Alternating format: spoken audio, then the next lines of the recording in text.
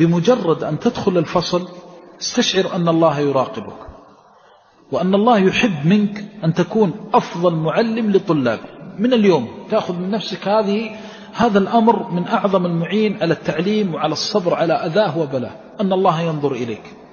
ما قعد أحد ولا قام ولا وقف ولا كتب في العلم. وهو يستشعر أن الله يسمعه ويراه إلا سهلت له الصعاب. وأصاب الصواب وكان على نهج السنة والكتاب.